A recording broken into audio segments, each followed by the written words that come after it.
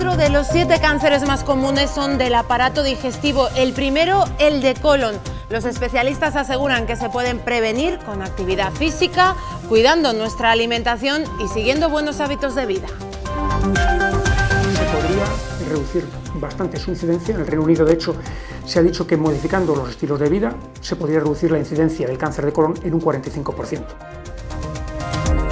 ¿Qué tal? Muy buenas noches. El próximo martes 4 de junio comienza el concurso provincial de pinchos de Valladolid. Se crearán más de 80 pinchos que se podrán degustar en los establecimientos hasta el domingo 9 de junio y un día después se dará a conocer al ganador. Se han inscrito 65 participantes, de los cuales 55 son de la capital y 10 de la provincia. 14 establecimientos, pincho postre. 14, pincho maridaje Mao San Miguel. 4 pincho infantil, 23 pinchos sin gluten y 33 al premio Alimentos de Valladolid. Hoy se ha presentado la programación del Festival de Teatro Clásico de Olmedo de este año y también las actividades de las jornadas y cursos paralelos. Será una edición con mucha presencia femenina, comedia e iniciativas educativas. Son 13 comedias en, en total comedias de enredo como Valor, Agravio y Mujer, Con quien vengo, vengo y La discreta enamorada. Ese curso que se va a llamar el Teatro Clásico en el Aula y que va a convocar a, a 20 profesores en la idea de que se les pueda proporcionar ideas, estímulo, materiales para que el teatro clásico vaya a las aulas.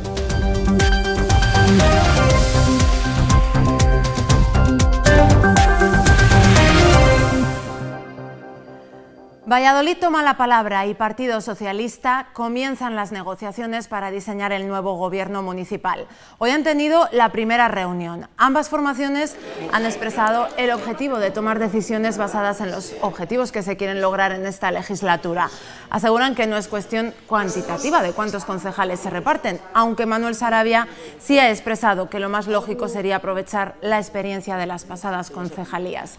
A principios de la próxima semana esperan tener un planteamiento claro que en el caso de toma la palabra consultarán con el censo de la formación.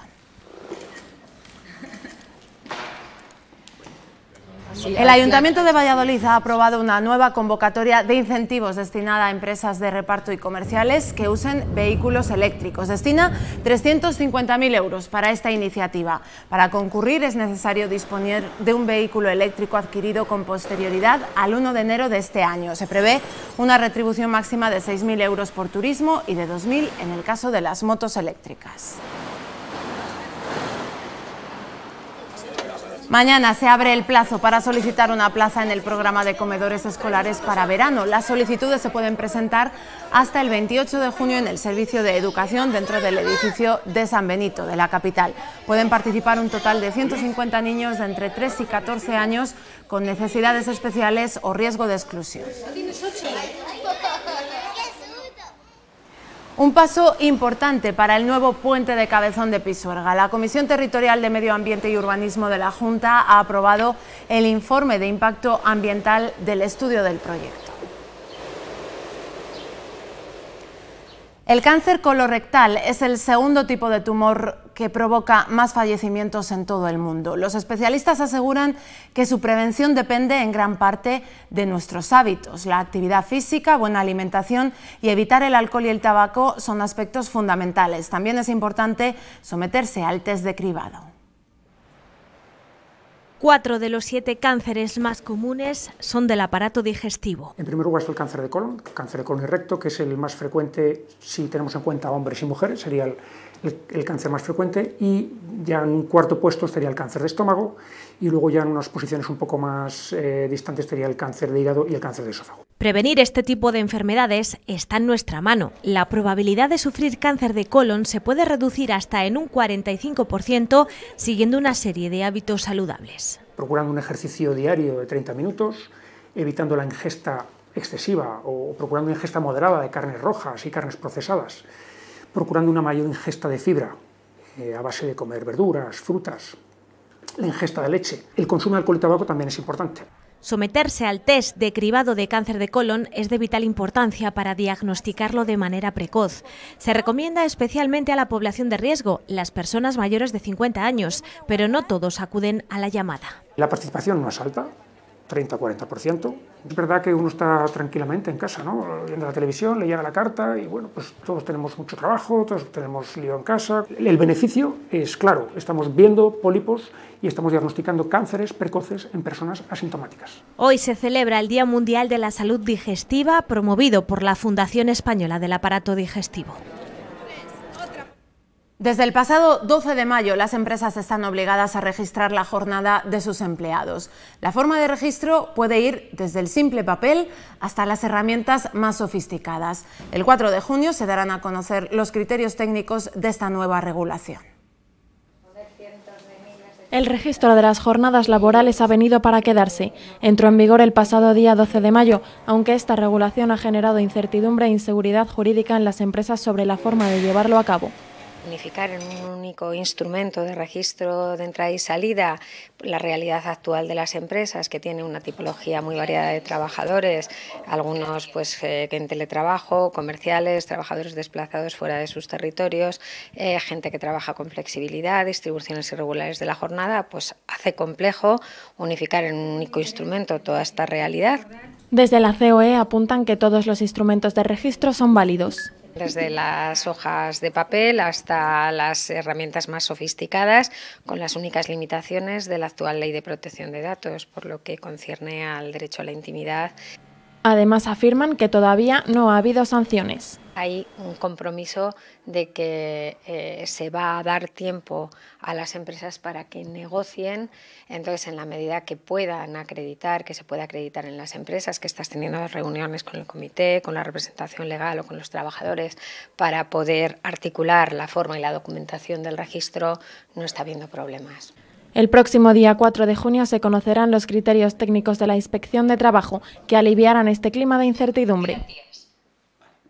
Del 4 al 9 de junio se celebra una nueva edición del concurso provincial de pinchos de Valladolid. Participan 65 establecimientos donde se podrán degustar los pinchos. La final tendrá lugar el día 10 y a ella pasarán los 18 mejores. Los ganadores representarán a Valladolid en el concurso nacional del mes de noviembre.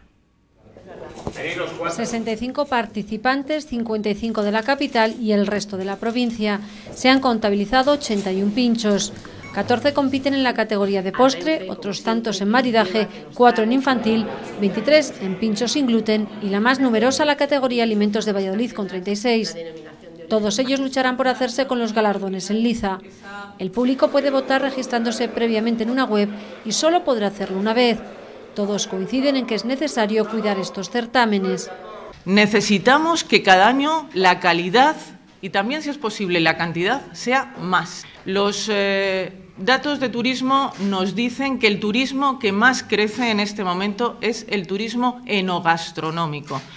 Los pinchos se degustarán en los bares participantes. El lunes 10 tendrá lugar la final en la Escuela de Cocina Fernando Pérez y como es habitual, los pinchos también viajarán sobre dos ruedas. El lunes día 3 de junio en el Aván, que llega a Madrid a las 12.05 y que sale de Chamartín a las 12, se ofrecerán los pinchos elaborados.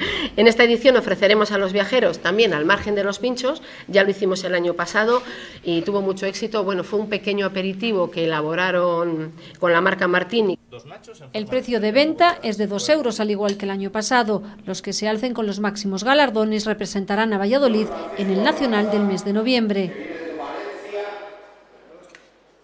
Pon en tu mesa calidad y sabor. Llena tu mesa con alimentos de Valladolid a gusto de todos. Pan, carnes, legumbres, vinos. Embutidos, productos de huerta, repostería. Quesos, piñones y miel. Los mejores productos de Valladolid con distintivo de calidad. Alimentos de Valladolid a gusto de todos. Infórmate en www.diputaciondevalladolid.es. Miguel Delibes será el protagonista indiscutible de este fin de semana en Tordesillas. Para analizar las adaptaciones de sus obras al cine, el sábado tendrá lugar una charla y posteriormente se proyectará la película de Los Santos Inocentes. Y el domingo el grupo Valkyria Teatro repasará con humor y rigor la vida y obra del que fue uno de los escritores más importantes del siglo XX. Otro de los planes que nos ofrece la Diputación de Valladolid para este fin de semana es visitar la Villa Romana de Almenara Puras, que recientemente celebró su decimoquinto aniversario. Y los que decidan visitar este fin de semana Tudela de Duero podrán disfrutar el domingo de la Feria de la Exaltación del Espárrago. El público asistente podrá comprar y degustar este exquisito manjar al ritmo de la música tradicional y los grupos de danza. Aprovechando la llegada del buen tiempo, otra opción interesante es visitar el Canal de Castilla en Medina de Río Seco, donde se podrá realizar un viaje de más de dos horas degustando alimentos y productos típicos de Valladolid. Romeo y Julieta convertidos en un sapo y una rana o un perro del hortelano con el rock de los años 80. Son algunos de los espectáculos que se verán este año en el Festival de Teatro Clásico de Olmedo. Se celebra del 11 al 21 de julio. Alta presencia femenina en el Festival de Olmedo de este año, con cinco directoras, diez versionadoras y tres dramaturgas. Dos de los 16 espectáculos tienen sello internacional y la programación supone un variado muestrario del siglo de oro en el que destacan Lope de Vega y la comedia. Comedias de enredo, como Valor, Agravio y Mujer, Con quien vengo, vengo y La discreta enamorada comedias de moral o de tesis como La traición y la amistad, comedia palatina como El perro del hortelano, de cual este año hay dos espectáculos, comedia de figurón o de costumbres como es Entre bobos anda el juego, a la programación convencional se unen las jornadas sobre teatro clásico, el curso actoral o secciones que apuestan por nuevos lenguajes o por el público familiar. Las secciones de Olmedo Clásico en Familia, de, Aperitivo un Clásico para teatro experimental, clásicos en víspera que recuperamos otra vez y en la que va a estar presente la Escuela Superior de Arte Dramático de Castilla y León con ese maravilloso regalo de hacer unas bodas en eh, Olmedo, combinación del Caballero de Olmedo y bodas de sangre y más guiños a la educación. Este año, por primera vez, se ha organizado un curso para 20 alumnos de bachillerato de la comunidad y otro para profesores de lengua y literatura.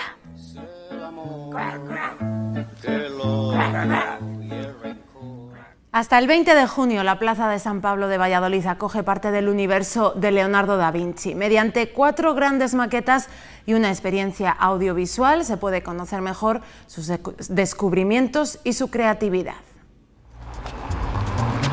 cuatro maquetas en el exterior y un espectáculo audiovisual en el interior forman parte de una exposición que rinde homenaje a la figura de Leonardo da Vinci. El punto de partida de, la exposición es la, actitud y la metodología del, trabajo de, Leonardo. ¿no?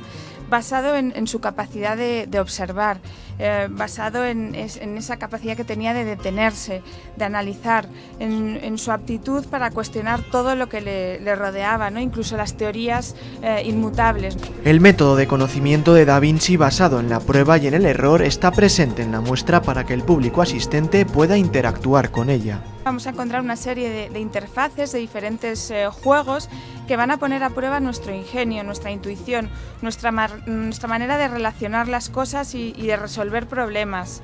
En algunos de ellos vamos a necesitar de la cooperación de, varias personas. Eh, posiblemente tengamos que preguntar y, y, lo más probable es que nos vayamos a equivocar ¿no? hasta llegar a la respuesta correcta. La exposición se puede ver hasta el próximo 20 de junio en la Plaza San Pablo de Valladolid.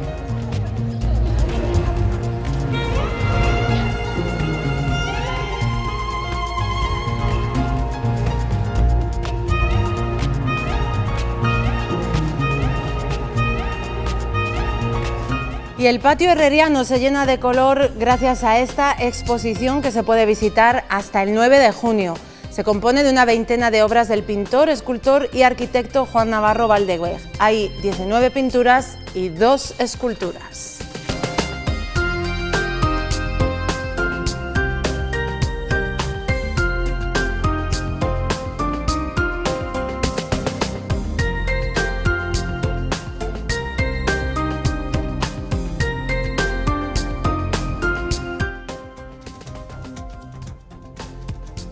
Repasamos ahora lo más destacado de este miércoles 29 de mayo en menos de un minuto. La probabilidad de sufrir cáncer de colon puede reducirse hasta en un 45% si se lleva una vida saludable. Del 4 al 9 de junio se celebra el concurso provincial de pinchos de Valladolid en el que participan 65 establecimientos. Hasta el 20 de junio la Plaza de San Pablo de Valladolid acoge una exposición sobre Leonardo da Vinci. Nos despedimos con dos planes culturales, uno musical sobre Michael Jackson el domingo día 2 de junio en el Teatro Carrión. Se puede ver un espectáculo sobre Michael Jackson para toda la familia y un concierto, o mejor dicho, tres conciertos, porque Antonio Orozco estará en Valladolid mañana jueves, el viernes y el sábado. La cita es en el Teatro Calderón a las 9 de la noche. Que disfruten. Adiós. Dicen que dicen que digan, que digan lo que quieras, que no me importa nada. Bye.